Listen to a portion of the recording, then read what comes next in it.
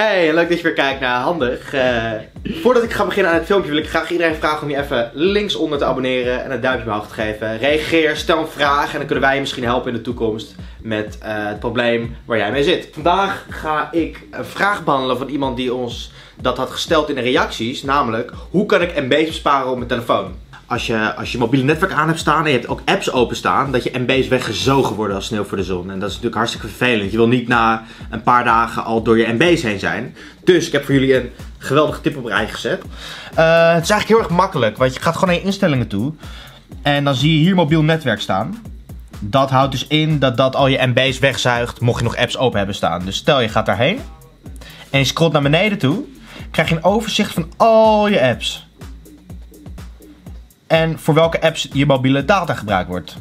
Dus uh, nou, je, ziet hier ook aan de onderkant zie je de grootte en hoeveel. Dus uh, als je bijvoorbeeld hier, uh, nou ga ik even naar beneden. Bijvoorbeeld, bijvoorbeeld Pokémon Go, die zuigt ontzettend veel MB's weg. Dus die moet je dan gewoon uitzetten. Dan wordt het niet meer verbruikt op het moment dat jij geen wifi verbinding hebt. Snapchat, ook verschrikkelijk veel. Tinder, nou, dat is ook echt... Uh, dus ja, wil jij nou je mobiele MB's besparen? Ga dan gewoon eventjes naar Instellingen, mobiel netwerk en scroll naar onder.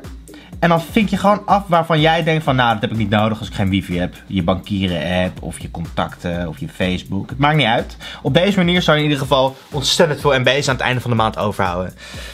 Ik hoop dat jullie wat in dit filmpje hebben gehad. En ik wil jullie nogmaals vragen om je gewoon even linksonder te abonneren. Duimpje omhoog en dan zie ik jullie de volgende keer. Dat is handig.